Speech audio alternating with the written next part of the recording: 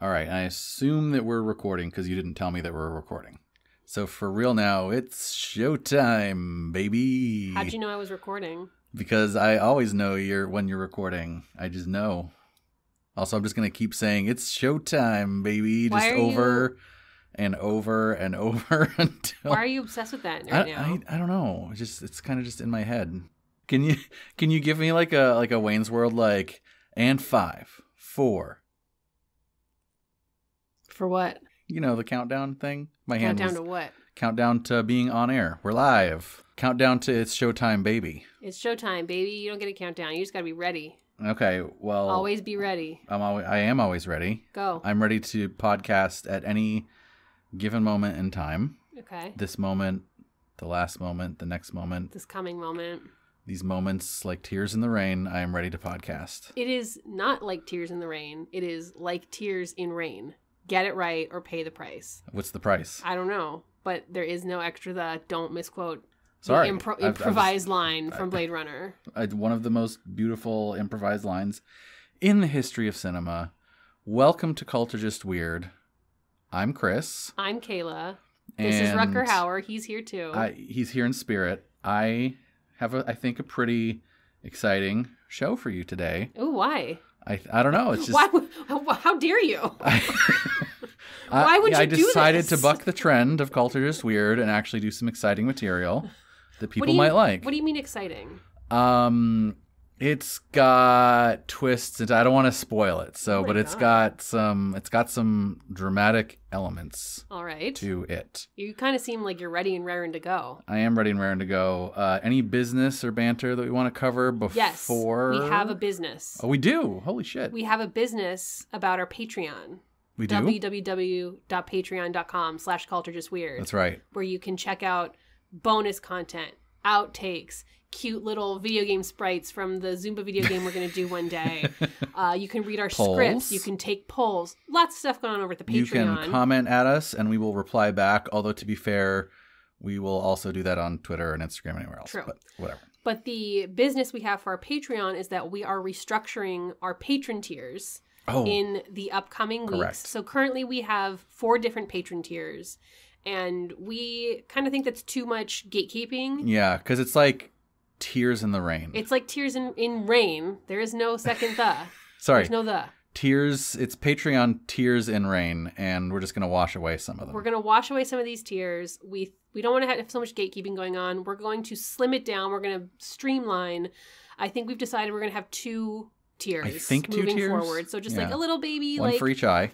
One one tier in the rain for you know if you just want to like dip your toe in the culture's weird patreon waters and you know another tier for if you're absolutely obsessed with us. If you're hardcore, you know hardcore just like us. So if you are a current patreon patron uh, keep an eye out for those changes. And if you are interested in joining our patreon becoming patrons you can go to cult or just weird wait no patreon.com slash cult or just weird. Yes, uh, you can go now and we'll and subscribe and then we'll change the tiers or you can wait until we change the tiers in rain and then subscribe then yes, and we also need to catch up on something that we promised uh, a a patron tier that we did not do.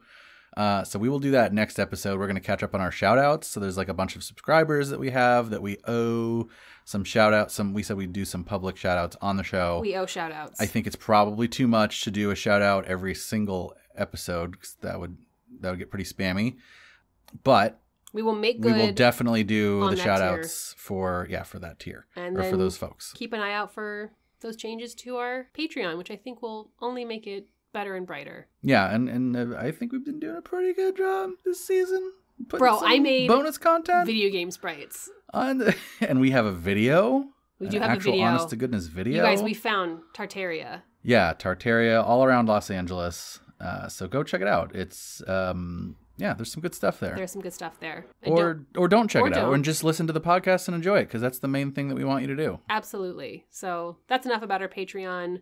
Just wanted to give that quick little business update. But right now, I'm just excited to hear what your exciting topic is because you've been you've been a busy little beaver the last couple days, just really digging into this research and this and this script writing. I, I want to know what you what you've uncovered Well, first, thank you for the business. Thank you for giving us the business, Kayla. as always. We all appreciate it.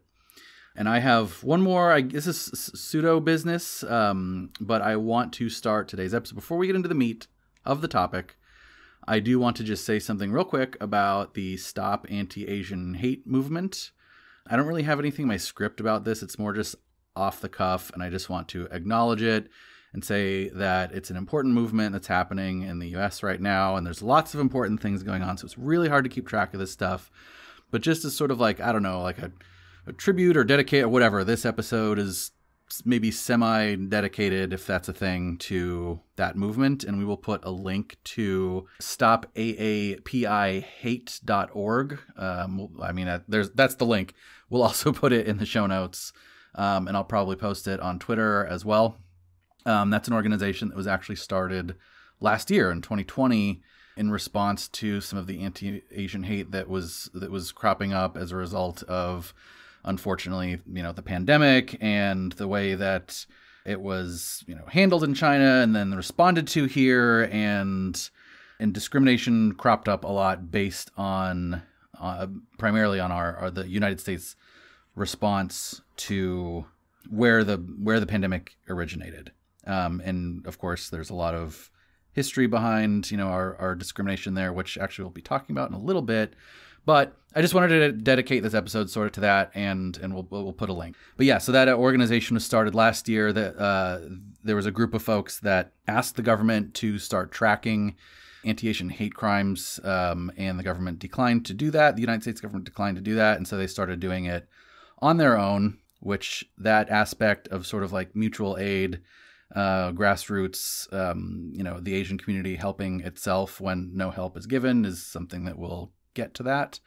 But yeah, so I'll put a link in our show notes, and you can go there. There's there's a donation button. There's a newsletter, um, but primarily it's it's there to help track uh, anti-Asian hate crimes, and it's they're a good group. So that's that's my extra business. Good business. Are you now ready to get started? I am. I was born ready. Because I don't really have another good place to put the cold open music. So it's going here.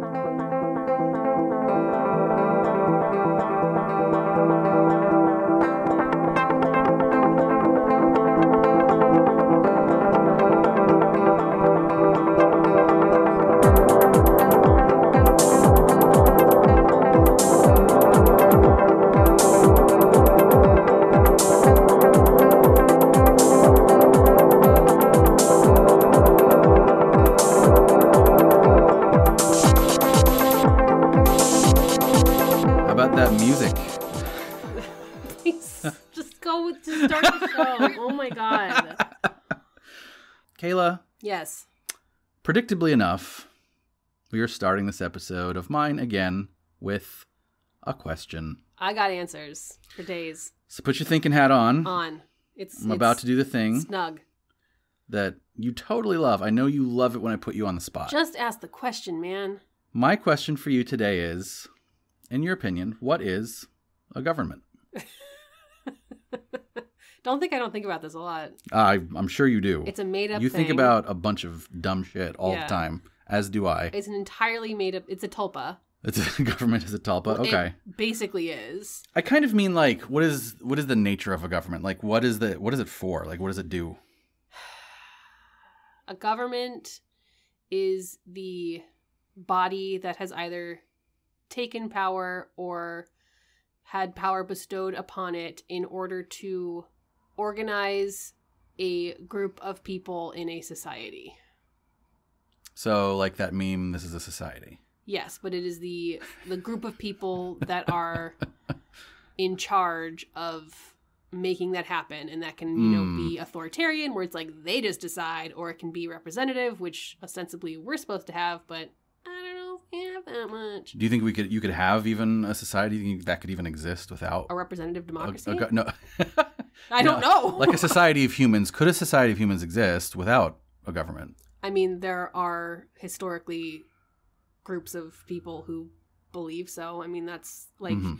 we make fun of anarchists, but Oh, the- silly anarchists. the anarchy that A. movement is very much about that and i think that it's a little bit of um we kind of folks who aren't anarchists or who don't engage with that far left of a uh, political viewpoint maybe think of anarchists as just like yeah burn it down and then we all just like run around beating each other with baseball bats I've seen The Purge. I know how it goes. that's not necessarily it's not generally what most anarchists are advocating for it's more about self-regulation amongst communities rather than a governing body regulating communities Hmm.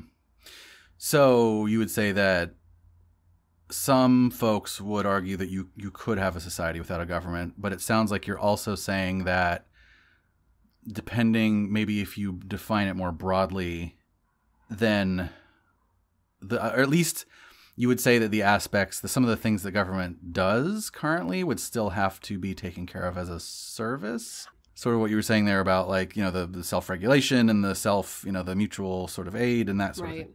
i don't know enough about like the anarchist school of thought to say whether or not i think i don't know. I guess is my i don't know. I don't know enough about Yeah. Well, this isn't really about school of thought anarchism. This to is say whether or not you can have a governmentless society.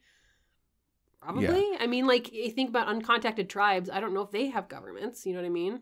Yeah, well, I guess it depends on how you define it, but this is yeah, this is less about commentary on an anarchist movement and more just like you know getting your your brain thoughts about what government is and what services it provides. I think it would probably do all of us a lot of good to try and envision a world with a type of government very different than the one that we have just for the hmm just for just to reimagine what we might be capable of instead of just like well this is what it is Yeah.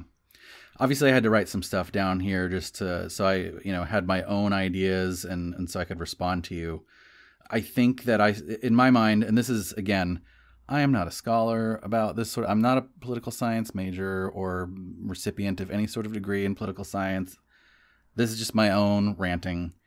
But I feel like to me there's three elements that are like if you just really boil it down and strip everything away, like what are the fundamental essence the like judicial The- the executive and the third one that i never remember third one What's the third one? legislative. thank you That's because they don't do anything.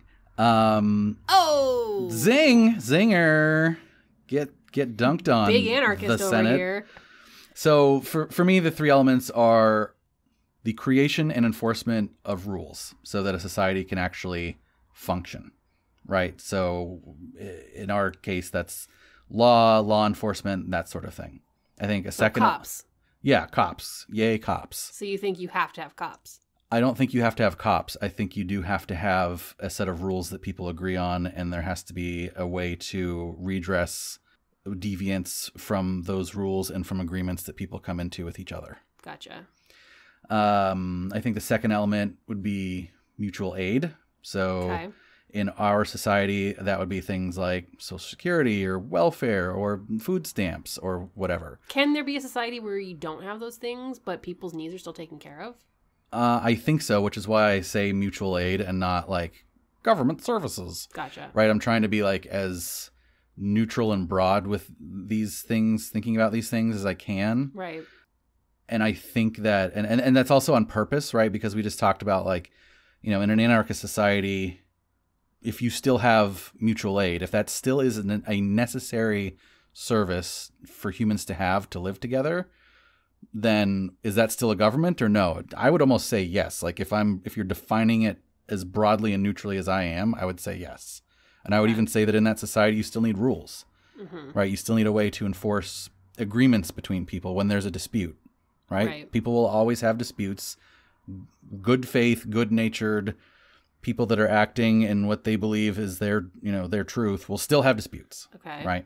Is this is this is this topic whether or not the U.S. is a cult? Yeah, we're finally doing it. No, you always actually we- Capitalism's a cult. but, uh, capitalism isn't a government, bruh. yeah, that's what I'm saying. That's why I Capitalism is an economic system. Anyway, my third element was just Thank you uh, for mansplaining that to me. I well, appreciate it. yeah. I mean, you you know, you're you're kind of slow, as our listeners know. So, You really want? Is that really what you want to say on our podcast? uh huh. Yeah. You're a nice guy. go go ahead, Mr. Judicial, I would say. Mr. Mr. Pro Cop over Now, here. do you understand what economics is? Mm-hmm. Oh, you you do you, you want to sit in here and talk? I'm making fun of myself. how one could make an argument that capitalism has become our system of government, sir. Okay, Sir? Let's let's move on Excuse so me, we because we don't have time to talk about like the political corporate environment that we find ourselves in. Uh, the third one I was just and again, this is just me, but I think that a government also has to in some way offer or promise power and rewards to the governing class in exchange for the risks of leadership and security roles. I-. I, feel like that is something that has been present throughout most of time, right? Like a king or a queen is not just a king or queen because of their servant leadership role. They're also a king or queen because, ooh, that's powerful and that's you know, I want to pass that down to my lineage and there's there's this certainly this like personal power element even in today's I you know, I say king or queen, but like you know, are people running for president because they truly want to serve society, or are they doing it because That it's like sweet, sweet post presidency book mm, deal. prestige? Right, right, exactly. That's the thing. I think that for in order for us to get to a place where we function more harmoniously as a people, figuring out how to have that power be kind of as little as possible, that power, that prestige, that fame, that wealth, probably behooves us to make sure that that's not too big of a piece of the pie. Yes, and I also want to say no. Like yes and no. Right. And my, so the the way I see it is that third element is not so much. I think power is a type of reward that has been offered to the tribal leadership Right. historically, whether that's a president or a king or a chief or whatever, right? Um, but I do think that there needs to be some sort of like reward, some sort of incentive, because being in a leadership role actually does tend to be risky, Sure. and it does tend to, you know, it's it's its own service that's being provided, so there needs to be some sort of like reward in exchange for that. Now, it's you know, obviously like unlimited and eternal power over your fellow humans is not Not probably great. the best reward to have, but I think that that is an element. Anyway, all that discussion, I want you to just keep it in the back of your mind that absolutely rock solid definition that we just came up with as two highly qualified political science researchers as we dig into today's topic. Is it in the back of your head? Yes. Okay. It's it's honestly it, it went one ear. And right out the, it's Right out not, the it other. fell out of the back of your head. No, I'm just stuck on the reward thing. I mean, that that's just me. Like I don't know. I didn't I- I didn't read like on the nature of government. Right. Like I didn't read like Plato's Republic or anything like to Ew. you know. Who reads? so- I'm sorry, but I had to do a lot of other reading for this episode. Let's this crack was just out a me copy of Anarchy State and Utopia. speculating on right, speculating on the nature of government for reasons that will hopefully become clear later. All right. But in order to dig in today's topic, let's start at the logical starting place and time. The Big Bang. The date is the date is May 27th, 1644, My favorite date. and things are about to change at Shanhai Pass. Shanhai Pass is a key strategic point along the Great Wall, abutting the Bohai Sea on the eastern edge of China and only about 200 miles from China's historical and current capital of Beijing. On this day, when spring was giving way to summer in China, another transition was also about to take place. The Battle of Shanhai Pass is considered to be the decisive engagement, and that's among a huge network of events spanning from around 1610 to 1680. But this battle is considered to be the decisive engagement in the fall of the Ming Dynasty in China and the victory of its successor dynasty from Manchuria, the Qing. Kayla, by now, you surely know, if not the topic, at least where I got the idea for this topic, right? I absolutely know what you're talking about because I pointed it out and I said, "What's this? You should look it up. Maybe it's a cult." Yeah, so so let's let's catch up our listeners. Until a few days ago, I was all ready to go with a different topic other than this one. But I like I wasn't super happy with it. Like it was interesting and I may still do it again in the future, so I'm not going to say what it was. But the story just like it wasn't popping out at me the way that I usually like to have it do, you know. But luckily, I was saved by the bell as Kayla and I here were taking a lovely walk through Chinatown in Los Angeles. And we totally had one of those, let's call it a best friends moment, where you just see something that makes you go, huh, what? What? Wait, what is, what's that? What's, there's definitely more to this thing than I just saw than meets the eye. I can just I can just tell. I can just smell it.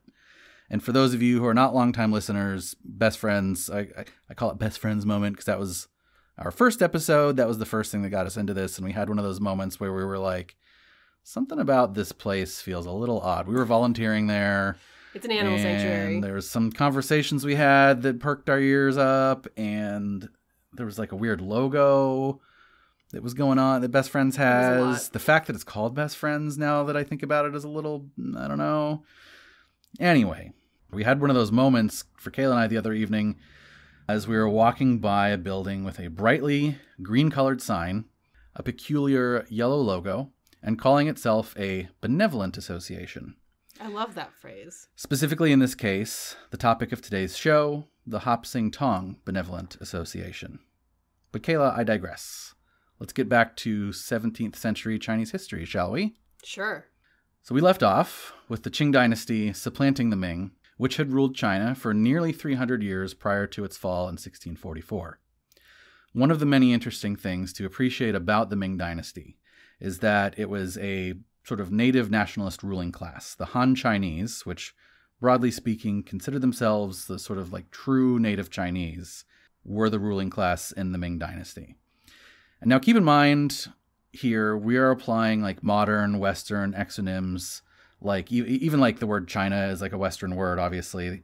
And when the people that lived in like what we'd call china they were hugely diverse both in terms of ethnicity nationality geopolitical organization.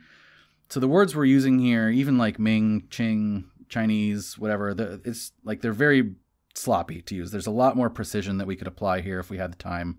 But we're just going to sort of power through and also, I don't like have the historical chops to go into the those nuances in real detail, but I just want to say that as like a, a disclaimer that these words are broad and sloppy when we're using them here in the West in 2021 on this podcast. Dan Carlin, if you're listening, Please help Dan please Carlin. do a supplemental episode for us. Yeah, for real. So, broadly speaking, the thing to understand about the Ming is that they were sandwiched between Mongol rule of China, i.e., what Han Chinese people would have considered outsider rule, and Qing rule of China, who were a Manchurian people, and Han Chinese would have also considered outsider rule. So why do I mention all of this? Now, the Qing, by the way, might have disagreed with that, right? They might they, and in fact, there's you know I read some stuff about like the way they consider like the way the different groups considered what was really China and what was like outside of China, what was inside of China. There was a lot of there was there was disagreement about that among different groups. Um, but why do I mention all this? Well, to introduce you to the idea that the Qing dynasty faced a substantial internal opposition to their rule. Of course, this opposition wasn't entirely ethno nationalist. It would be irresponsible to suggest that. It wasn't entirely just Han Chinese saying, you know, get out of our lands. Uh, that was only one element. But here, let me read the Wikipedia entry for, and this is the entry is anti Qing sentiment. So the opening entry for that reads, quote, Anti Qing sentiment refers to sentiment principally held in China against Manchu rule during the Qing dynasty. How are there Wikipedia pages on shit that was going on in the 1600s? You know what I mean? It's insane. Well, because it's history, and so Wikipedia has a lot of history stuff that's been. Wikipedia has everything. History's crazy, guys. So it refers to the sentiment principally held in China against Manchu rule during the Qing dynasty, which was criticized by opponents as being barbaric. The Qing was accused of destroying traditional Han culture by forcing Han to wear their hair in a queue in the Manchu style. So a queue is like, if you imagine sort of like the you know the bald front of the head with the long like ponytail, hmm that's a queue. It was blamed for suppressing Chinese science and for causing China to be transformed from the world's premier power to a poor, backwards nation. The rallying slogan of anti Qing activists was, and I'm totally going to fuck this up, sorry, but uh, Fun Qing Fu Ming, which translates to oppose Qing and restore Ming. Oh, In the yeah, pretty pretty straightforward. yeah. Uh, in the broadest sense, an anti Qing activist was anyone who was engaged in anti Manchu direct action.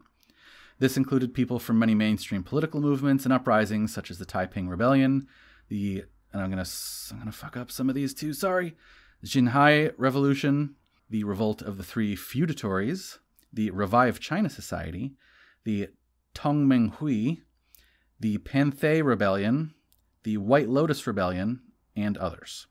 End quote. Now, anytime you have a regime change, you're going to have loyalists. That's just human nature, anytime throughout history, right? Ming loyalist sentiment, however, was robust and long lasting, as you can tell just from that short list of rebellious movements I just read. The White Lotus Rebellion, the last one I read, is particularly interesting because of its instigators, the White Lotus Society. And it's not just interesting because Magic the Gathering has a Black Lotus. Got to bring up Magic the Gathering. I'm sorry. How does that have anything to do with anything that you're talking about? Because now? White Lotus, I had to say Black Lotus. Black Lotus is the most expensive magic card. It's like the most famous magic We card. know, sir. Anyway, Get back to your script. fine. I need to know how what was going on in the 1600s relates to the building we walked by in Chinatown the other day where I said, What is that? It has a members only sign, and you Googled it, and then your eyes went all big, and you tucked your phone quickly in your pocket and went, Oh, oh, that might that might be a topic. Well, let's keep talking about the White Lotus Society then, which was a secret religious society Favorite. that appealed to Han Chinese.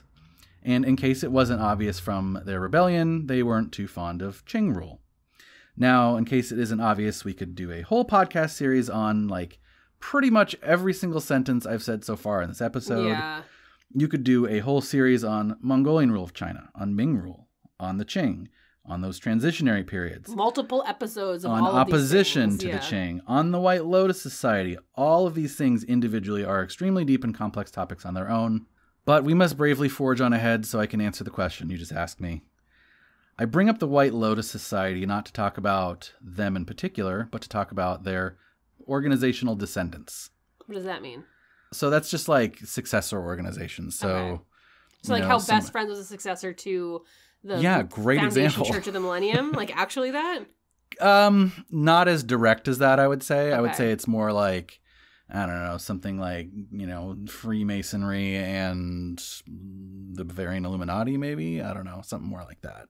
Freemasons birthed the Illuminati. The Illuminati, the Bavarian Illuminati, were a organization other way within an organization. It was the Illuminati was in the okay, yeah, yeah. yeah. I So maybe more like that, but it's- I, you know, there's also like, there's no real perfect analogy. Um, just think of it as like a successor organization that borrowed the same, a lot of the same, you know, traditions and same. Um, The actually, White Lotus had a baby, is what ano- you're saying. Yeah, you can think of it maybe a little bit like uh, Catholicism and, uh, you know, pick your Protestant religion, right? Something like that, where you have like Catholicism and then you have the Church of England, Okay, right? Because this, don't forget, this was also I said this was a secret religious sect, right. right? Secret religious sects. sects. Yeah, they were there were a bunch of sects actually, so you could even say sects. Just sects all over the place. One of the most important descendant organizations is called. And I've heard this pronounced multiple different ways, so I'm just going to use the one that I can do the best. It's called the Tiandihui, which translates roughly to the Heaven and Earth Society. I want to be a part of that. They are also called Hongmen, which translates very roughly to vast family. Tiandihui is sort of like Eastern Freemasonry. Just mention that as an analogy. Uh, in fact, I believe they have actually even been referred to as like Chinese Freemasons. Interesting. Now, obviously, Freemasonry exists in China now as well. Oh, it does. Yeah, I mean, China, like Freemasonry is global now. I didn't know that. Like everything's everywhere. But yeah, so the so the Hongmen slash Tiandihui has been referred to as Chinese Freemasons, um, and actually, I found out in my research, secret religious societies have been historically pretty popular in China to the point where I even read that some religious scholars consider lumping them together as a fourth quote fourth major religious sect in China, next to the big three of Buddhism, Taoism, and Confucianism. wow. So the fourth would just be The fourth would be like secret Secret secret religion, secret um, secret society religions. interesting. Yeah. But back to the Tiandihui in specific, like Freemasonry, it spread far and wide. And when that happens, you get our favorite thing here on the show: schisming and splinter A groups. schism. Allow me to briefly quote another Wikipedia entry. Quote Under British rule in Hong Kong, all Chinese secret societies were collectively seen as criminal threats Oh no. and were bundled together and defined as triads. Although the Hongmen might be said to have differed in its nature from the others, the name the Three Harmony Society, which was a grouping or splinter of the one of the splinter groups of the Tiandihui, was called the Three Harmony Society, and that in fact is the source of the term triad, which has since become synonymous with Chinese organized crime. Because of that heritage, the Tiandihui is both controversial and prohibited in Hong Kong. End hmm. quote. Just in case you were wondering about the etymology of the word Chinese triad. Just in case you played way too much GTA. Right, or watched a lot of the Hong Kong kung fu movies. But the Hongmen had other legacies other than Hong Kong triad organizations, which finally brings us to foreign shores, or rather home shores from the perspective of our American listeners. Let's talk a little bit now about the history of the Chinese American diaspora. Again, we could fill a whole podcast series with this as a topic, so we're just going to try to hit the main beats here. We're just zipping on by. We're just kissing everything as we super pass. fast. Yeah. You know what we're doing? We're like we're we're doing like a like a 10k, like we're doing like a run, and we're running by all these delicious bakeries with just like hundreds of selections of delicious historical baked goods. Just taking a little bite And out of each go- one. No, we're just taking a whiff. We're just going, mmm, smell how smelly good that is. Mmm, that historical bun. See, maybe that's what you're doing, but I'm taking a bite. You're ta- if you're taking a bite, that means that you're sitting here googling while I'm talking to you. It's stop. It's me taking a bite. So, Chinese immigration to North America is nearly as old as the European discovery of North America, with the first Chinese peoples being involved in mercantile affairs in Mexico as early as 1565. Dope. However, the scale of true immigration was actually quite small until the mid to late 1800s. By 1848, there were a mere 325 Chinese Americans living in the United States. Wow. By 1852, four years later, that number had grown to 20,000. Dang. If you like gold rush history, or if you're a fan of the San Francisco 49ers, you might know what happened in America during that time span the discovery of gold at Sutter's Mill, kicking off the California Gold Rush, which drew many Americans and many immigrants to America, many of them Chinese, to the American West Coast. By 1880, the number of Chinese Americans had grown to more than 300,000, of which included 10% of California's population. Now, obviously, the gold rush alone doesn't explain this immigration boom, especially considering the gold rush ended somewhere around 1855. But I think most of us, with just even a casual understanding of American history, know that Chinese immigrant laborers were instrumental in construction of the Transcontinental Railroad, one of the United States' crowning engineering achievements to this day. Even I know about that. During this construction, Chinese laborers were known for their skill on some of the more challenging and dangerous aspects of construction, specifically demolition and tunnel building. Now, one of the things that I had never considered, but really became apparent to me doing the research for this episode, is that most any immigration story, there is always some pull and always some push. So there's always the destination country and the home country are always things going on there are always involved somehow in the story of that immigration. It's like a reason to leave and a reason to come. Yeah, and even more than that, like well, I guess we'll we'll get to that. We'll get to that. For the Chinese immigration boom of the 1800s, the pull was what we just talked about, California gold and railroad construction jobs. But there was also some push. The late 1800s saw a decline in power and prosperity of the Qing dynasty in China, which always disproportionately affects poorer populations, causing them to seek survival and prosperity elsewhere. Many Chinese immigrants were also driven away by the Taiping Rebellion of 1850, which, interestingly enough, was one of the anti Qing rebellions we listed just a few minutes ago in the show. Anyway, as we know, America has always been a land of opportunity that has welcomed immigrants with open arms and treated them with dignity and respect. The end. That was a sarcasm. That was a big sarcasm.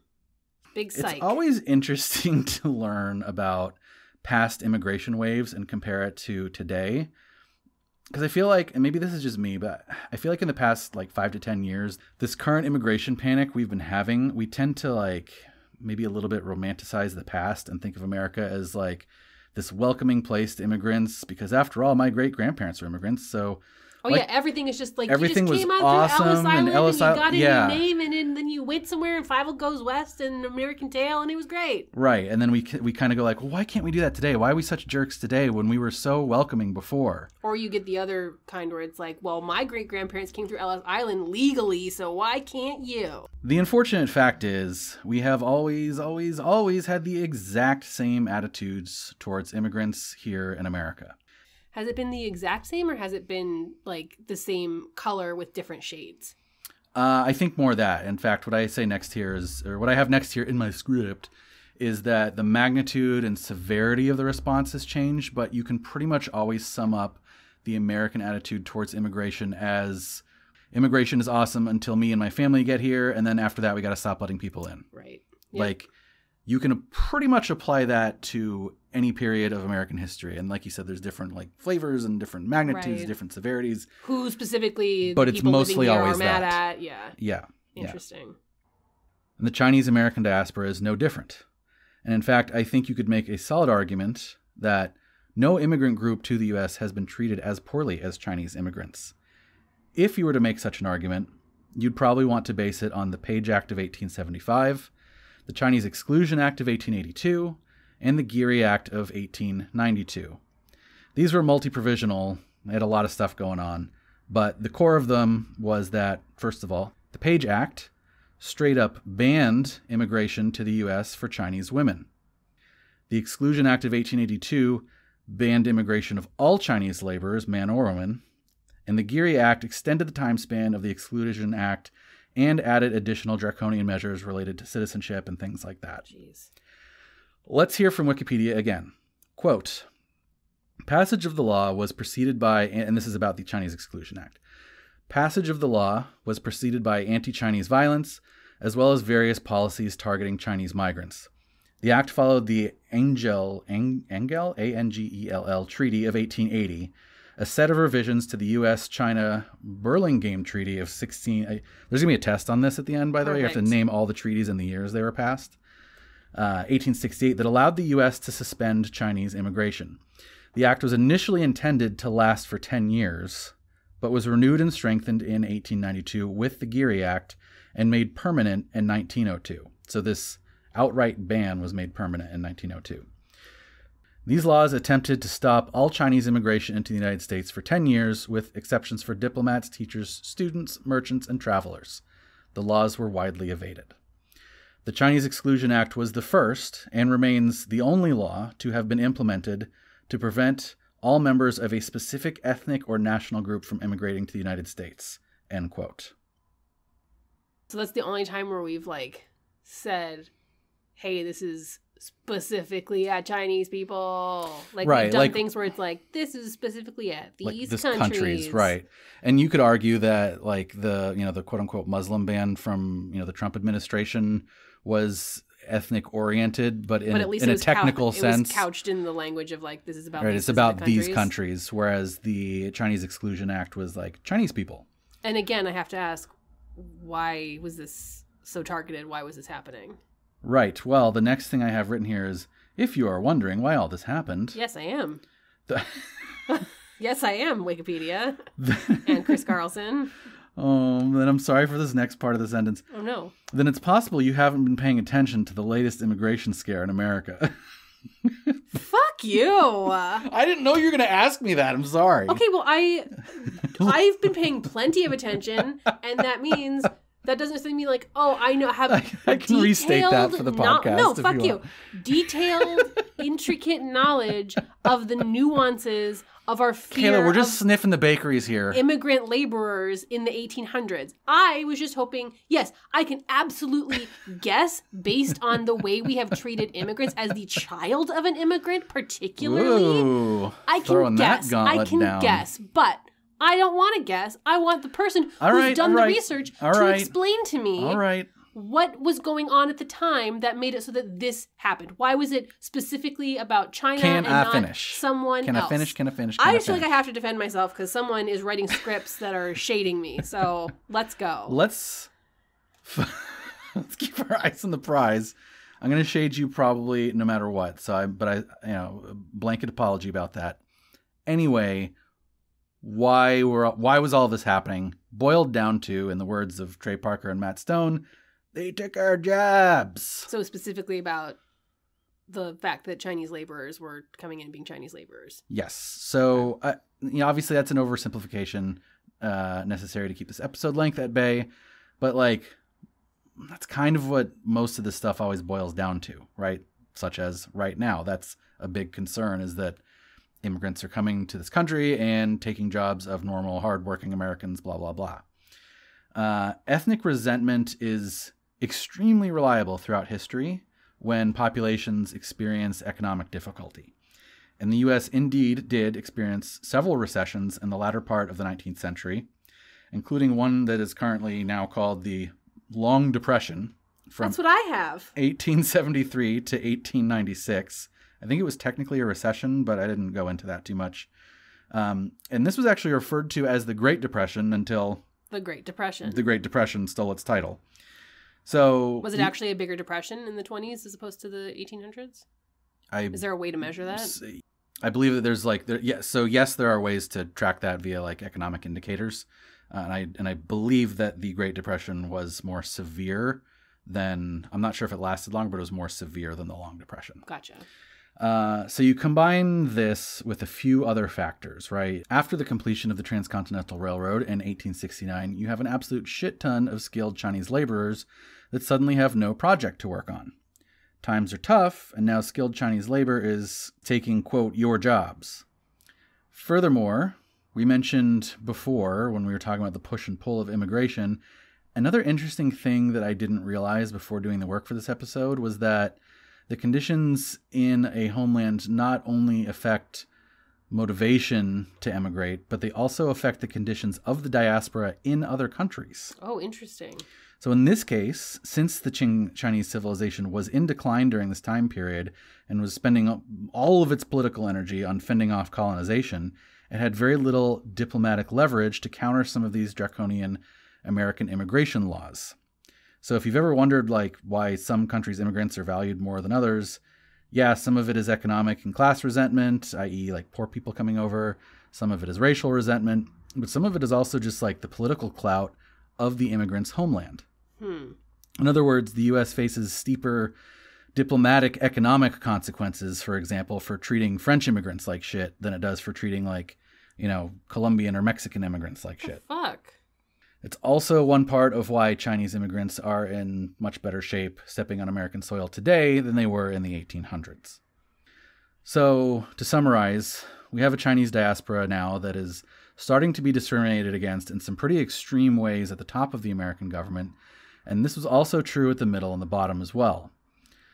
On top of the entry ban for their countrymen, Chinese Americans, like many other diasporas in America, Italian comes to mind, which you'll see the parallel here pretty shortly, face the dual problem of being neglected by governmental services and also being excluded and in some cases violently excluded from broader society.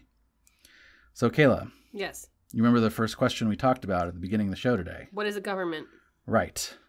Well, those functions of government that we talked about, specifically rule enforcement and mutual aid, I think are both critical to the functioning of a community, which is why I wanted to talk to you about them at the top of the show. Okay. So where there's a vacuum of those things, when when the greater San Francisco and the greater Los Angeles government neglects or refuses to provide those things, something will pop up on its own. That is extremely true. And as we know, that is why things like the Italian mafia exist. Yeah, as I just said, Italian immigrants may come to mind, and you may see some parallels here. Enter No, but but to the story. just to go back to that, the Italian mafia started in Italy for these same reasons. Right. It wasn't just Italian Americans coming here and not having Right. scaffolding. Right. It was also the failures in that particular country as well. So there's an analogy in the sense that there was a vacuum to fill at this sort of like governmental service level. Right. Um, but it was also different in some key ways as well, which we will see. Hmm. Enter the Chinese Tongs. The word tong is Chinese for hall, Like H A L L? H A L L, like a meeting hall. Okay. Tongs are organizations unique to the Chinese diaspora, and especially the Chinese American diaspora.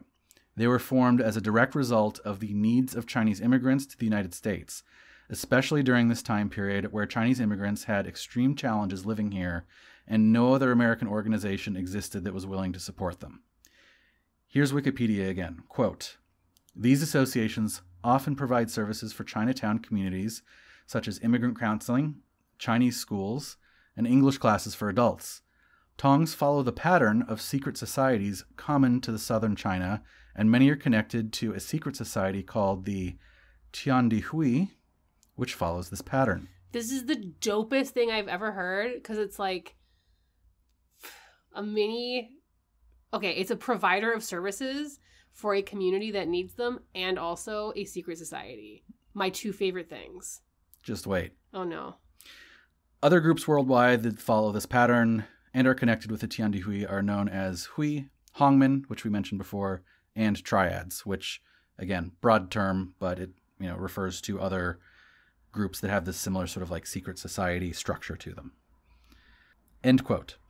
So for those of you keeping track of the secret society lineage at home, it went roughly White Lotus Society, Tiandi Hui slash Hongmen, Chinese American Tongs. This is cool. Yeah, this whole thing really tickled my history funny bone. And like this that's why like when I started reading about it when we walked by the other day, I was just like, "Whoa, yeah, I have man. to ask oh, because you because here's what happened. We walked by this building. It had the name on it. It said members only. I went, "What's that?" And you went, "I don't know." And I went, "I bet there's something to that." And then we sat down on a bench and you Googled it and then you put it away and you were like, "Nah, it's nothing." And I was like, "I don't believe no, it's- no, no, no, no, no, no, Yes, no. I said yes. don't.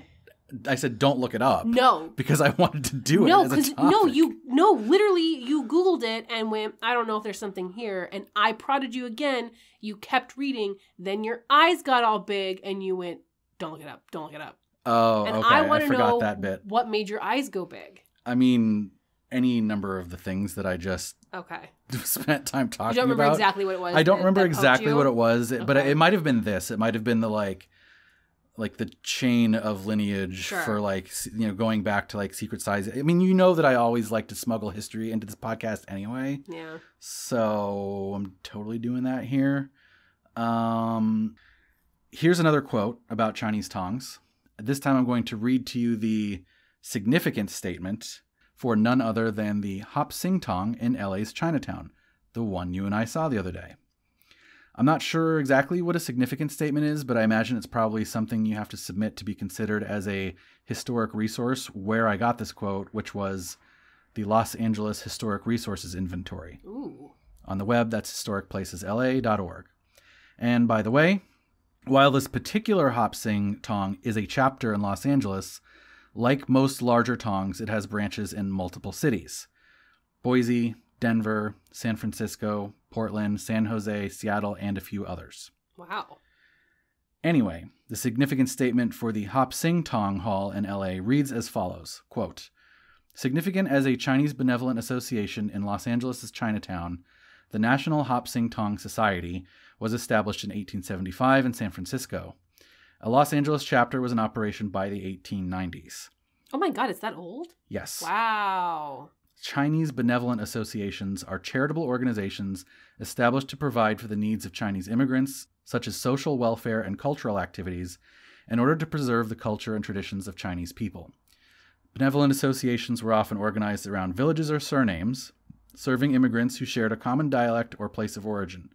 The Hop Sing Tong Benevolent Association continues to operate at this location. End quote. So it's been there since that one that we walked by has been there since 1890?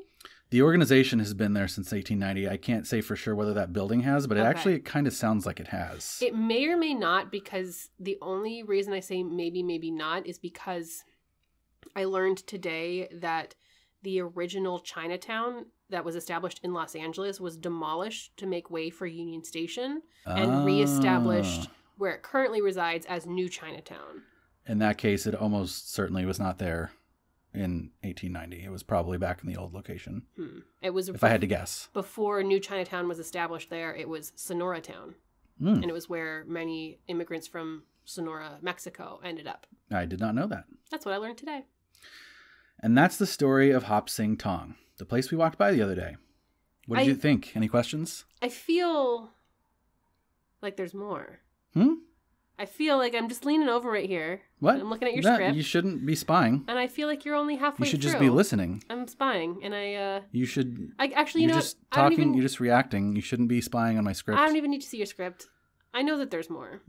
what? By the way, that I asked that question. Just by the way, I know how the world works. Well, my friend, you are correct. Oh my god. For once in my life. Le- This is the first time. Mark your calendar, everyone. Uh, but yes, I have not yet gotten to a big part of the story. What's the big part of the story? Please tell me quickly. a big part, not the big part. A big part. Please tell me fast. I need to know. We've already been sort of dancing around and hinting at this. I guess heavily hinting in some cases. Oh my god. another crucial aspect of tongs. Remember when I said a hot minute ago that Chinese immigrants and their tongs reminded me of Italian immigrants in particular, and you talked about the mafia? Were we talking to talk about organized crime here? It's a familiar story because we've heard it before. An immigrant group comes to America, finds opposition to their very existence, and ordinary government services are essentially withheld, and in this vacuum, something else springs up.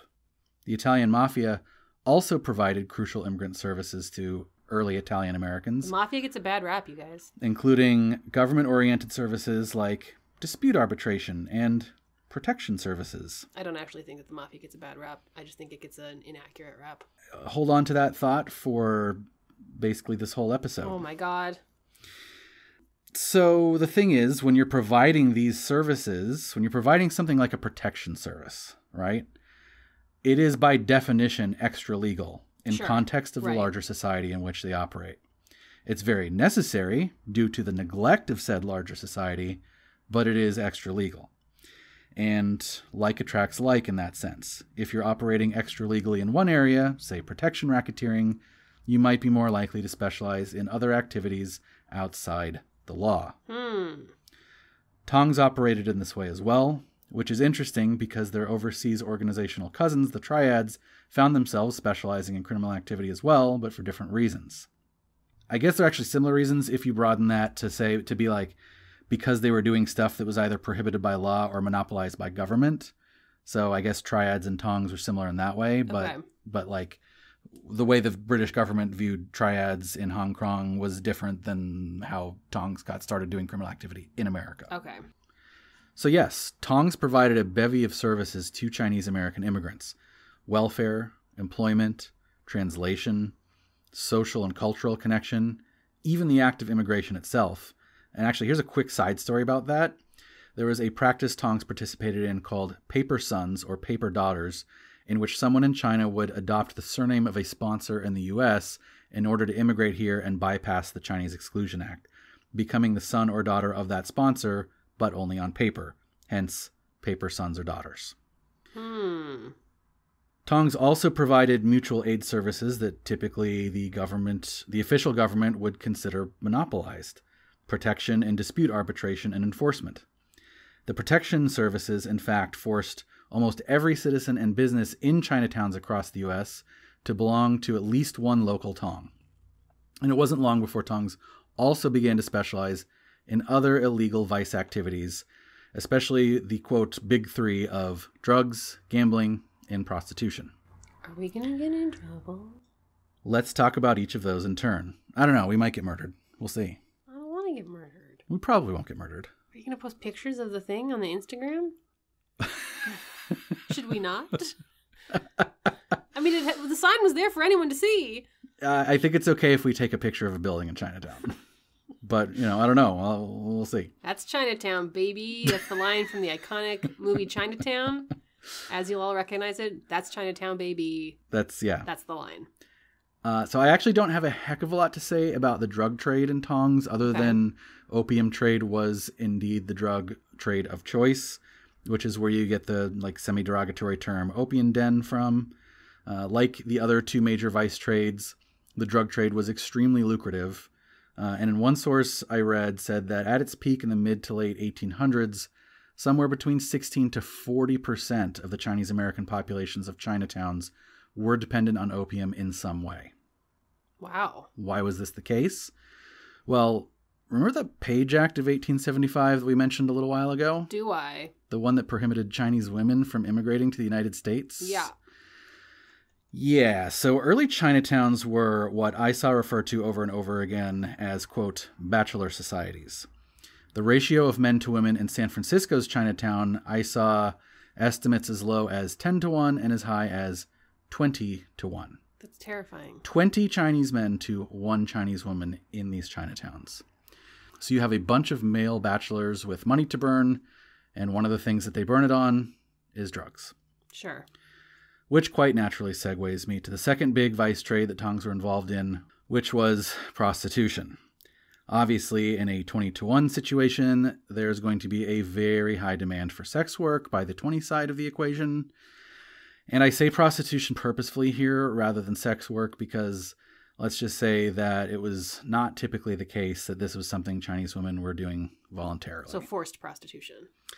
According to one source I read, the sex trade in American Chinatowns was more brutal than your average sex trade of the time, which is saying something. The foundation for the sex trade for certain Tongs, which this is probably a good time to bring up that while all Tongs were involved in some way in all sorts of businesses across town, they tended to specialize when it came to the vices. So Mm. one Tong might be more specialized as a gambling hall, where another might be more specialized in, say, the opium trade. Okay. Anyway, the foundation for the sex trade for such tongs was unfortunately primarily trafficking from mainland China and quite literal sex slavery, Jeez. complete with auction style purchasing of women from China. Horrible. It was, as we say, not good. No. And this is why governments should do a good job of taking care of the people that live under them. hmm Because otherwise, things like this happen. The third major vice trade category is gambling, which is the most complicated of the three to talk about because the fact is, gambling, much more so than the others, is one of those criminal activities that is especially dependent on social context. In Chinese culture, particularly southern China, gambling is not even considered a vice the way it is in America, where we are like somewhat descended from Puritans. It's simply part of the fabric of their culture.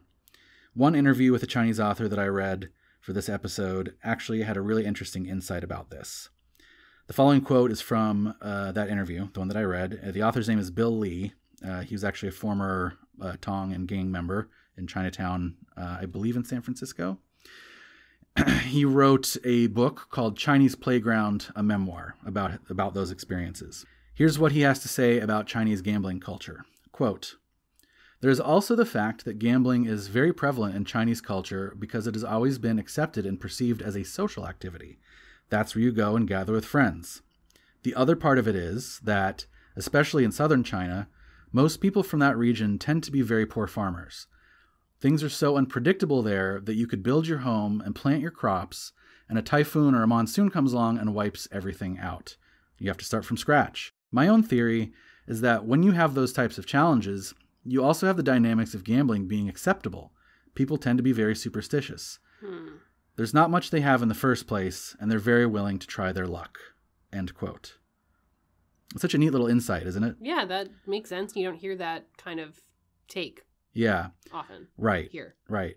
Uh, obviously, I don't think that's like the single one true reason gambling is important to Chinese culture, Sure. but I think he makes like a pretty strong case for like that being part of it. In any case, it's this cultural context that makes the illegal gambling aspect of tongs kind of hard to put in an ethical box. Like sex slaves are pretty obviously horrific, but providing a service that has such cultural meaning and provides social glue doesn't sound so bad. Well, Uh, it's like sex slavery. Pretty clearly, you are infringing on the rights of a human being. right. Gambling and drugs, less so. Gambling, especially when you consider gambling with a like cultural relevance, even less so. Right, exactly. And hell, if we disparage mahjong, then like we also have to disparage Las Vegas, right? At Well, I mean, I can sit here and disparage Las Vegas. okay, if, you- if but really want. but for different reasons, not for the craps tables, because it's it's Okay, then let's talk about classic Vegas. Kitschy and plastic. rife with the Italian mafia. that, that's true too. There there's there you go again with the uh, extra legal immigrant based crime syndicates. I mean, perhaps we could say that it's like worthy of punishment still in this case because maybe it opens the door for other more socially negative criminal activity. It's hard, maybe impossible to say. So the point here isn't really to make some like ethical call on gambling, but rather just to shine a bit of a brighter and more complete light on one aspect of Tong activity. Okay. I'd also venture to say that, as with the protection racketeering and some of the other extra legal social services that were going on, there may be some chicken egg confusion here with criminal activity. In other words, did Tongs broadly engage in criminal activity because they were criminal or criminal adjacent organizations? Or did they engage in criminal activity because essential services that they arose to provide, such as protection, were unfairly criminalized? Right. Right. it's a bit of chicken egg and i think you know again you can say that for other similar organizations like the mafia like there's a lot to criticize but you know if these communities were being taken care of with the expected governmental services from the city of san francisco or the city of los angeles Right. then would have would this have even happened I mean, it's that you look at the gang, the correct. You look at the more classically recognized gangs of Los Angeles, and those exist for also similar reasons. right right Lack yeah of governmental infrastructure, lack of lack of social services, lack of this, Right. and the other, lack of protection, lack of these these these groups pop up for reasons Right. that are not entirely like people are bad, like yeah we kind of are taught as children. What's interesting to me for that too is that I feel like some of the it's like similar but different, right? If you the the similar reason is you can't trust the established governmental authority to take care of these needs. That's the similar reason. The different reason I think is it feels to me like with Chinatowns it was more the result of neglect Right. Whereas with, say, like black communities in LA, it was maybe more the result of the and the law of enforcement being like a negative influence. Like it's not that law enforcement wasn't in, you know, Watts. It was that law enforcement was there and you don't go to law enforcement to take care of things because they're worse than the problem. which I would argue is a form of neglect. The needs are neglected. Just The needs are neglected, but- the needs are still neglected. Yes, but it, it's a different flavor because instead of being like, eh, let them do their own thing, it's there's like an active element to it. Right. The other problem that black market economics tends to create, as we know, is turf warfare. Kayla, if you and I have a business dispute, legal avenues and enforcement exist to settle those disputes. If you and I have a business dispute, but we ourselves are the legal avenues and enforcement, what happens then? Did that make sense? Say it again. if you and I have a business dispute, but there's no legal entity above us to help arbitrate, rather, you and I are the legal avenues ourselves. Like, let's say you're the head of Tong A and I'm the head of Tong B. Right. We're each providing legal, sort of like pseudo enforcement services. But what happens when we have a dispute? Right. There's no board above you. Right. So this brings us to the so called Tong Wars. Oh no. which were a long running series of disputes among Tongs in every major Chinatown in America. This primarily took place around the late 1800s, and in San Francisco, with the country's largest Chinatown, it didn't cool off until the mid 1920s. Dang. These disputes were over what you might expect. The phrase I liked from my research was that they called them intergang grievances. Ooh. And this was things like disputed payments between Tongs or members, honor related grievances. So these are things like like the desecration of the deceased, which was supposed to be something that like you didn't do even in you know the criminal world, Sure. uh, or revenge for murdered members. Along with the cooling of the Tong Wars, Tong influence in Chinatowns in the first part of the 20th century also waned, largely due to the increasing Americanization of American Chinese, both from the simple passage of time and also from the ever increasing number of American born Chinese. This all changed, however, with a new wave of Chinese immigration to America in the 1960s. What I found super interesting was that, just as with the immigration wave in the 1800s, the political and economic situation in both the home country and the destination country were what drove the immigration, both in terms of how and when it happened. In China, the Cultural Revolution of Mao Zedong would be getting underway in 1966. And we don't have the time, again, don't have the time to get into it. That'll uh, be on our spin off podcast. There, this could be a million spin off podcasts. Yeah.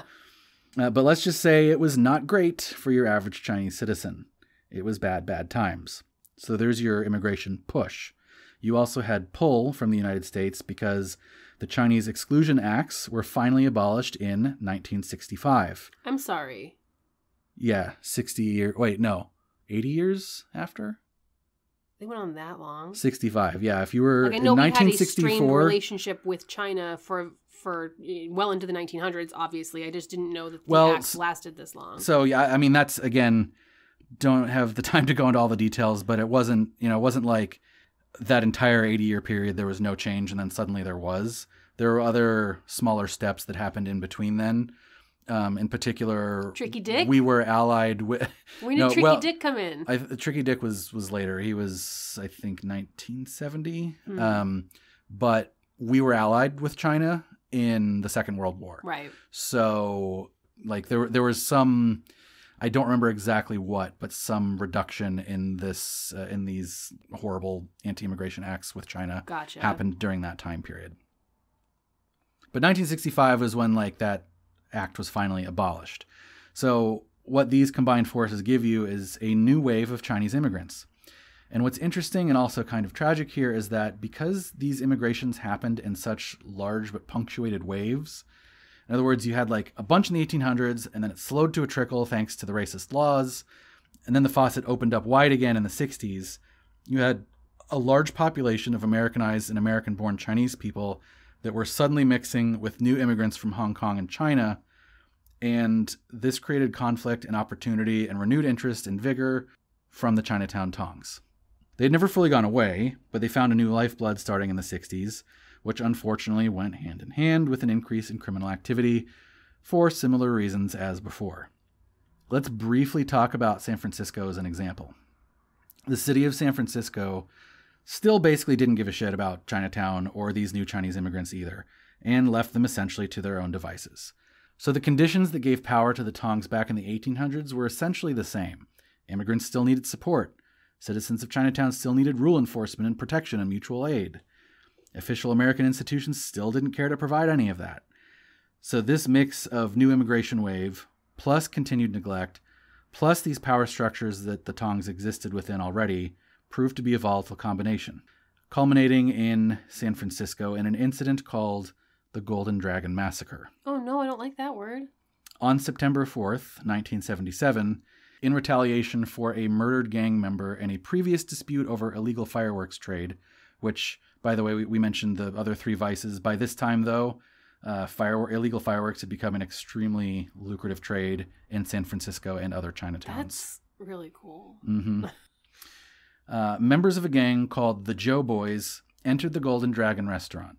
Their target was the leader of the Wah Ching gang, whom the assassins had been tipped off would be present there during that time.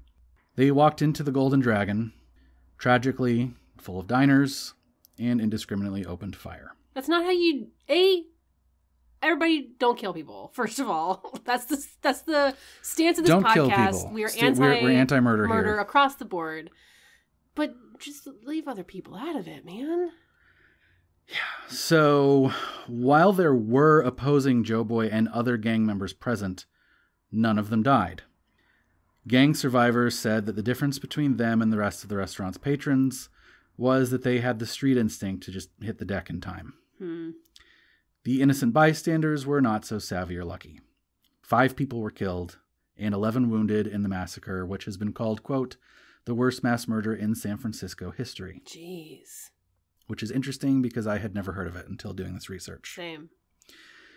In the aftermath of this incident, the city of San Francisco finally started to pay attention to Chinatown and created the Chinatown and what was later called Asian Task Force, which a New York Times article later credited with cleaning up gang related violence in San Francisco Chinatown by 1983.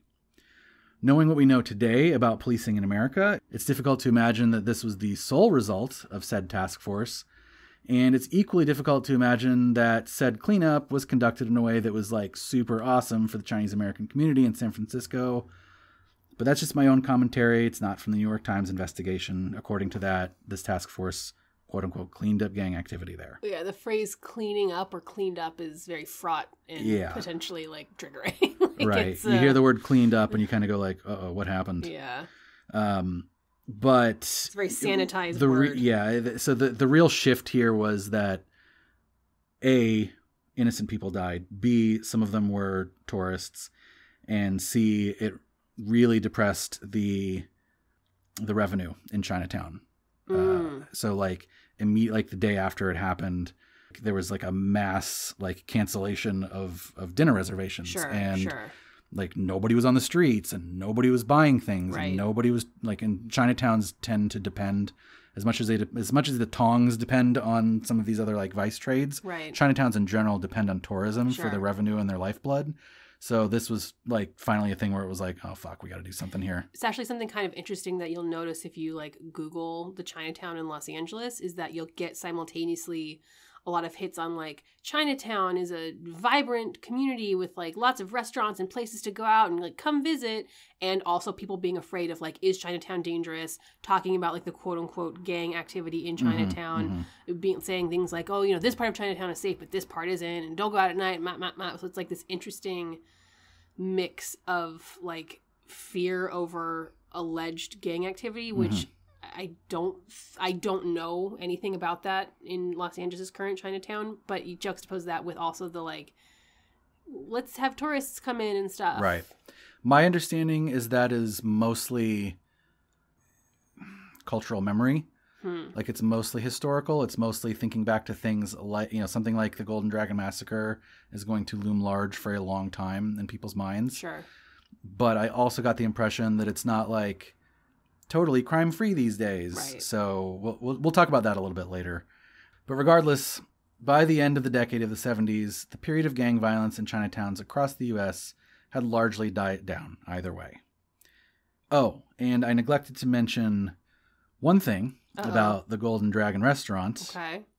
It was owned by none other than San Francisco's Hop Sing Tong, oh damn which was the San Francisco branch of the building that you and I walked by the other day. Not only that, some of the other gang members present were members of a group called the Hop Sing Boys, which was a youth group slash like enforcement arm of the Hop Sing Tong in San Francisco. a youth group slash enforcement arm Well, that's what a gang is, right? it's just interesting I mean, gangs yeah, tend to gangs- recruit youths. yeah it's- sadly. it's, just interesting to see it phrased as youth group slash Well, I phrased it that way, but that's it's still interesting to hear phrased that way Yeah. it's an interesting phrasing yeah, yeah. Let's round out our historical journey of Chinatown Tongs by talking about the late 90s and 2000s. I want to bring up the late 90s because, and this is analysis, by the way, that I'm stealing from a National Geographic documentary that I watched about this topic. But there's another example of politics and economics of a home country affecting events in a destination country.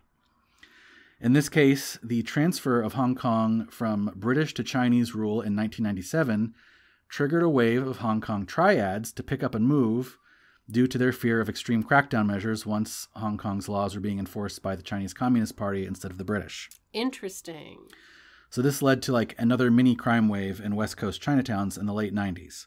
Although to be clear, by this point, we're getting away from talking about like tongs and Chinese immigration, and we're just talking purely about how geopolitics affects movement of people and organizations and crime patterns. But I found it, yeah, I found that interesting that like those geopolitical events affecting things in this like interesting way, you found it interesting that things were affected in an interesting way in this way.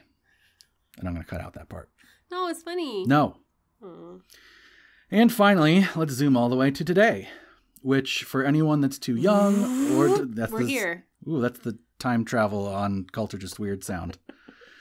so for anyone that's too young or doesn't remember the 80s and 90s, China was not the economic powerhouse that it is today. China has seen extreme economic growth in the past 20 years, and that has fundamentally changed the nature of Chinese immigration to the United States and our media and government has been terrified of that since it started 20 years ago or before. Uh, not only are there more robust services for newly arrived immigrants than there were in the 1800s, But whereas in the 1800s and 1860s, most Chinese immigrants were poorer classes seeking survival and opportunity overseas, in the 2020s, Chinese immigrants are comprised more and more of middle and upper class than they have been in the past. On top of that, as we mentioned earlier in the show, the diplomatic clout of the mother country actually has quite an effect on how immigrants are treated here in a destination country, and the scales have tipped quite a bit in favor of China since the 1800s in that regard as well. Altogether, what this means is actually that Chinese immigrants now actually primarily don't even settle in, say, LA's Chinatown.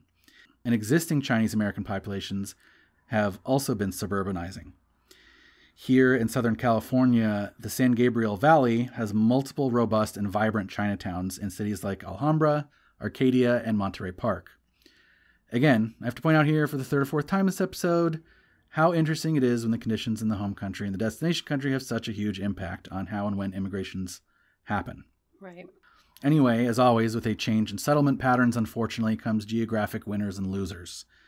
Today, only Manhattan and Chicago's Chinatowns are currently experiencing growth. Elsewhere, they are in decline in terms of population and economics. This is something that communities have tried to counter in various ways, which I think is a really good thing because Chinatowns in America to me are just like so full and of historical magic. They're just Right. like rich with historical magic. They have such an important place in this country, so I'm glad that like that's people are trying to figure out how to like preserve them. Right. In Los Angeles as we experienced recently, some of this decay has been fought with what I saw referred to as bohemian style gentrification, which means things like artist enclaves and hip foodie joints.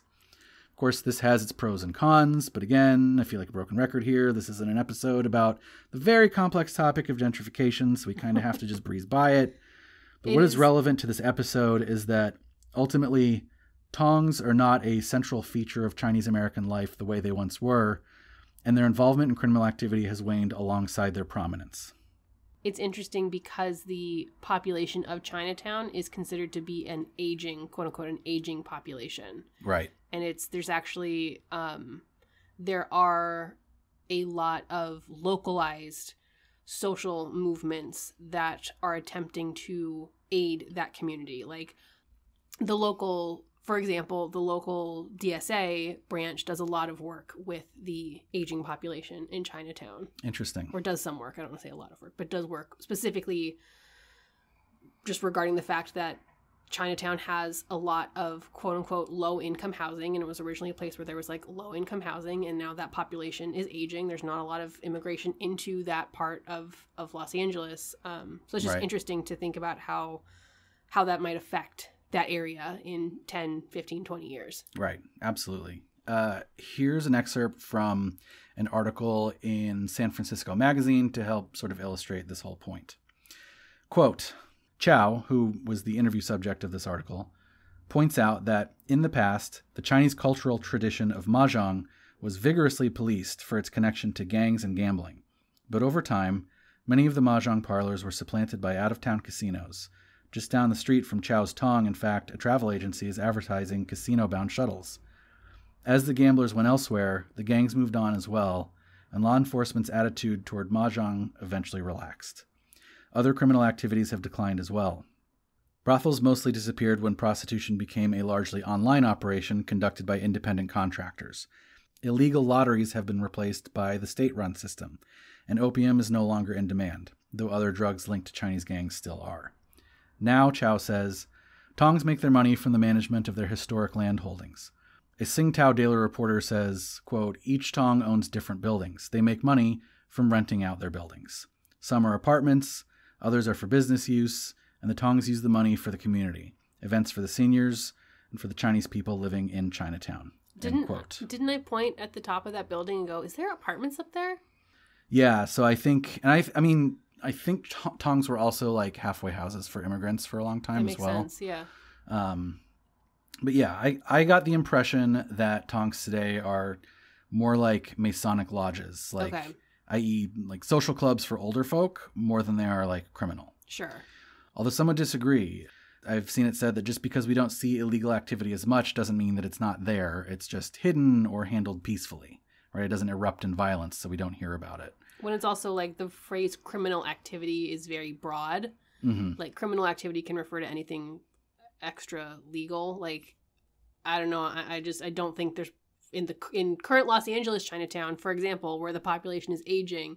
I can't imagine there's the same level of facilitating the big three vices that we talked about. For example, Right. Uh, I mean, I the quote that I just read was from San Francisco about Right. how those things had sort of migrated away, but I imagine that those patterns are similar in other cities such as our own. right? However, sometimes the violence still does peak above the surface on occasion. Ooh. As a matter of fact, in the Los Angeles Hop Sing Tong, the very beautiful building we walked by the other day, that is mostly a place for elderly Chinatown residents to play mahjong and feel at home, was host to a double murder only as recently as January of 2017. The two victims died at the end of a knife blade, and one of them, I shit you not, was the president of that very same Hop Sing Tong. Oh no. Ah, if we didn't have our gimmick criteria to do, that would have been like a good outro moment. Let's skip the What criteria. shame. Last episode, we shucked all tradition and declared the topic a religion. So we could just go ahead and just be like, no criteria today. No criteria for this one. There are no rules. Do what you want. Um, but that does bring us to the end of the story of Hop Sing and other American tongs. What do you think, Kayla? what do I think? What's my what's my yeah, what's your, what's your quick take? Quick take. my off the cuff, off the hip, shooting from the hip, Shooting from the hip. off the back, skin of my teeth, How do you feel about no skin off my back. Yeah. Oops, cutting off my nose to spite my face. uh, I would say it's not a cult, personally, Hmm. just without having gone through all of the criteria. But perhaps you can guide us through those steps and stages, and we can arrive Yes. at a same or different answer. We will get to that. Um, I just there are a few things that I did want to sort of. I don't really have like a well-defined script about this, but there are just some bits that I want to talk about because I do think that it's there's some interesting sort of like themes here to me. Like, f- first of all, I think it's really interesting that there's these parallels between Tongs and other secret societies, right? Like, in some ways, it seems similar to Freemasons in that it's like this social club Right. in other ways it seems like wildly different in some ways it seems similar to mafia because it has these underworld connections but then in some ways it seems wildly different because it's more about like they're very specifically like immigrant halfway houses immigrant Right. Right. help that's like why they were created um and i also think that like there's a big element here of like good or bad who's to say like one of the points i think i really want to make that i was just sort of thinking about when i was writing this was like i don't want i don't want to like make a call here like oh man tongs are bad because criminal stuff because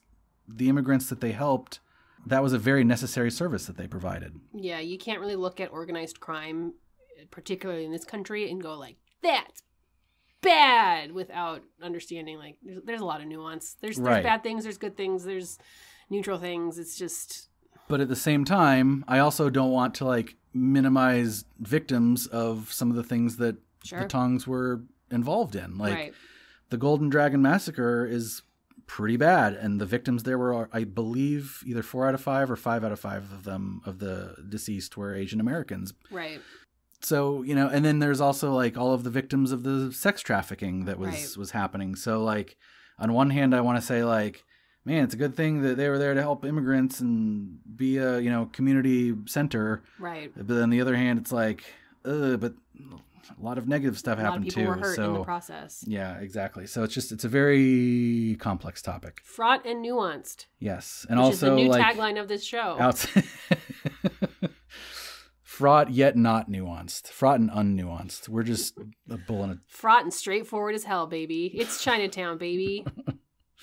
Uh, and then the other sort of like big theme thing that I just I don't know why I hadn't really seen this as clearly before, but how immigration is so inextricably tied to events in home and destination countries, Sure.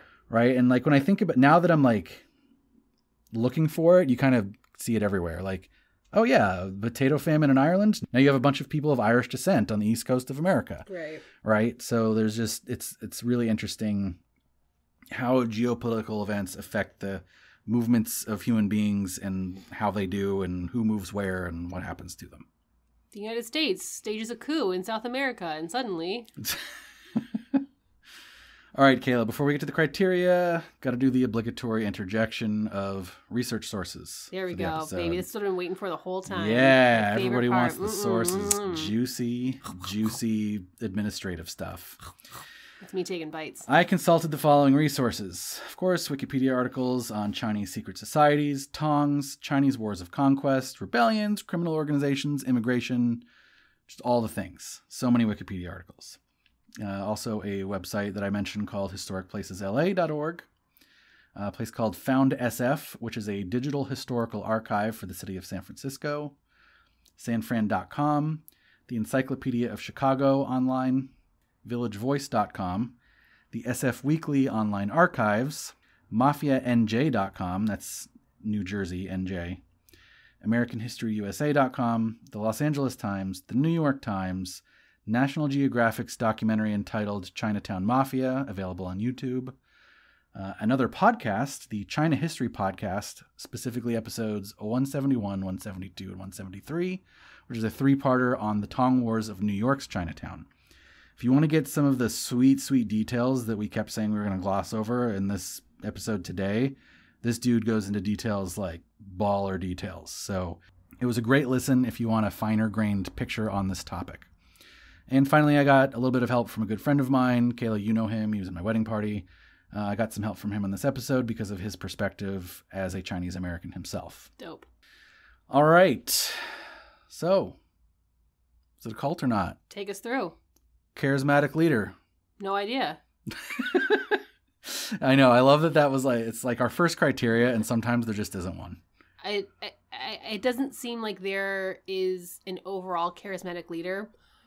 Probably in individual halls, there may have been leaders that were charismatic, but I cannot say that overall we can point to a singular charismatic leader. Yeah. I, if you narrow it down to like a particular hall or even in like maybe a particular Chinatown at a particular time, Right. there were definitely like mob bosses like Sure. of of you know some renown that we could have covered in this episode and we just kind of didn't because I think if you think about like if, if the topic is hop hop sing tong or American tongs, there isn't like one single One- leader that like person. yeah exactly so there's you know they've had multiple like There's no teal swan. and- There's no Ramtha. yeah exactly so low zero but some of these guys I mean some of the obviously the mob Oh, bosses sure. are pretty charismatic uh, expected harm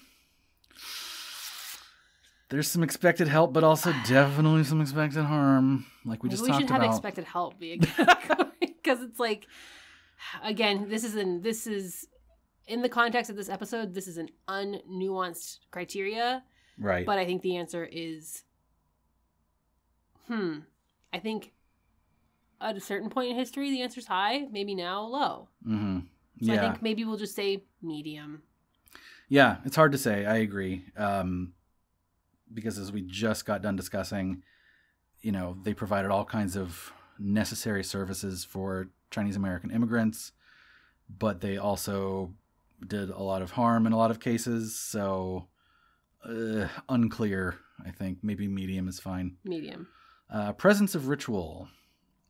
We didn't talk about this a lot, but actually there were some initiation rituals involved because they are secret societies. yeah i'm gonna say as a secret society is kind of built in and also if there's gang activity it is also built in Yeah, so like a lot of triads have initiation rituals. A lot of these tongs had initiation rituals. Um, and I think I, I would even also point out here that one of the little red flag things, one of the little like, there's something going on there things that we saw was there was a little logo. Remember that little like star logo and a members only sign and a members only sign. So If you're gonna if you're gonna become a member, there's probably ritual involved. right, uh, niche within society. I would say yes. Yes and no. I think within larger American society, maybe yes, but if you're if if society is Chinatown, like where it was operating, Then no. then definitely not actually. But I feel like we're looking at larger American society here. Maybe maybe. I don't know. What do you think? It's your topic. I think that the spirit of this of this question is about like whether a group of people might see something as being normalized versus deviant. hmm And I think that in order to properly answer that question, I think the right population to ask about is Chinatown, not larger American society. All right. Because so larger American go. society Let's at get this in the time- car. Well, Let's lar- drive and ask them. I think larger American society at the time might have said that like Chinatown itself is niche. Like there's Sure. a bunch of American stuff and some of it's Chinese. I think that if we're talking about it, the Tongs, I think it's most logical to ask that question as being within American Chinatowns, in which case I would say not niche. Not niche. Got it. Anti-factuality. Doesn't seem like it's there. Yeah, they weren't like they weren't truth bending, they were law bending. Yeah. Uh, life consumption. Probably high. Yeah, if you were, it, it, it kind of depends. If you were somebody that needed them as a halfway house, High. obviously high. If you were, you know, one of the Hop Sing boys that had like pledged your, Sure. you know, your your Life. personhood to yeah, Yeah. to the gang, pretty high. Uh, dogmatic beliefs. I don't know. I don't like. I don't think that there. It's some of these are hard to answer because being a secret society, it's like I don't Sure, know what the, sure. what went on in there. Like they played mahjong, I guess. um, but I didn't get the impression that there were like a set of correct insider outsider type belief systems going on here. Gotcha. Like I know that some of the like ancestral organizations were like secret religious sects, and they might have some dogma going on. But as far as Tongs specifically, they uh, they followed the structure, but I don't think they had like dogmas. Interesting. I think. okay. And then chain of victims. I don't know. I keep saying I don't know. I don't. Wow, you are not doing your job. I know. it's just hard. It's a hard job. Well, I also I didn't trust a- hold on. I didn't answer all these fully. Like I didn't tell you about some of the like initiation rituals and stuff. So I'm gonna say chain of victims. So that refers to like recruitiness. Like, does one person recruit another, recruit another, such that we lose track of who's the victim and who's the abuser? I, I don't get the sense of that, but I do get the sense of kind of like if you are somebody coming, if you are someone immigrating, you are going to pass through this place. Yeah, I think I'm gonna say low here for Victim me. is a hard word. I think there was definitely victims. Obviously, there are victims of, of some of the you know criminal activities that were were happening. I don't think though that I don't get the impression of like chain of recruiting. I don't. Sure. I don't get the like evangelical sense. Like yeah, yeah, that's you true. definitely had to join a tong at a certain point in time if you're a Chinese immigrant or own, particularly if you owned a business, right? You had to join a tong right. because you had to have that protection service. But it didn't mean that you had to like then go out and like evangelize about that tong. Get like there three was guys to give you money, and then they'll have their downline. And, right. It yeah. wasn't a pyramidal structure. It was a flat, relatively flat structure. like Zumba. it was a what do you call it? Hexagon? No, trapezoid. It was a trapezoidal Gotcha. structure. So Zumba, the Tong Halls, very similar entities. Yeah, obviously. Um, so the only one that we really, s- oh, actually, no, sorry, we- score relatively high on Life Actually, yeah. consumed. uh, presence of ritual and life consumption, and then expected harm was Medium. mixed. To me, this indicates we are we do not have a cult on our hands. Just something, a fascinating piece of history that still has vestiges and appearances today. Right, I agree, and I even think that like in their you know heyday, uh, I wouldn't even necessarily call it a cult. I think it it's the type of thing that like makes the cut for the show for a couple of reasons. Is one is it's like ooh secret society, like that And it's just a automatically kind of gets it in the about. door. Yeah. Yeah, and two, it's just like it was just a really interesting story and Sure. really interesting history. So again, kind of want to smuggle that in there whenever I can. Yep. Um, but ultimately, it seems pretty clearly to be not a cult. You heard it here first.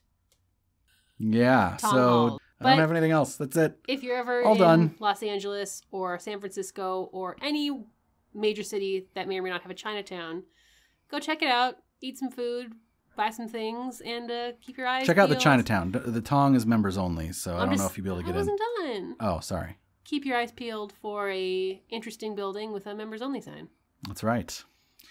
Well, hopefully you learned some cool stuff here today. And like I said, I will send, I will post a link on the show notes for stopaapihate.org. And thank you everyone for listening. This is Kayla. And this is Chris. And this has been Cult or Just Weird.